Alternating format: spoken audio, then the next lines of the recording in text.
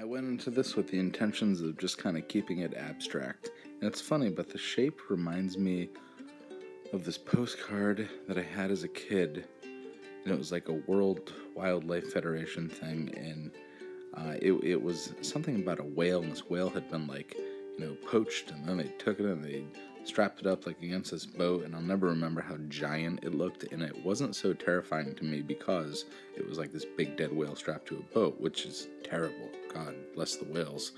Um, all each one of them, they're lovely people.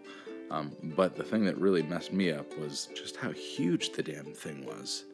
Whales are too big. People of Earth, make sure you subscribe and hit me up on all these social media avenues here and uh, leave a comment letting me know what you would like for me to draw tomorrow. I will draw it. Leave a comment. I'm drawing it. Do it. Bye.